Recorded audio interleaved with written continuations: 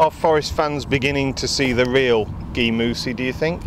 Uh, now, you know, we did a first interview before in November after my first goal, and I said, I think I'm not in my best best form, but I think now I start to, to come back here.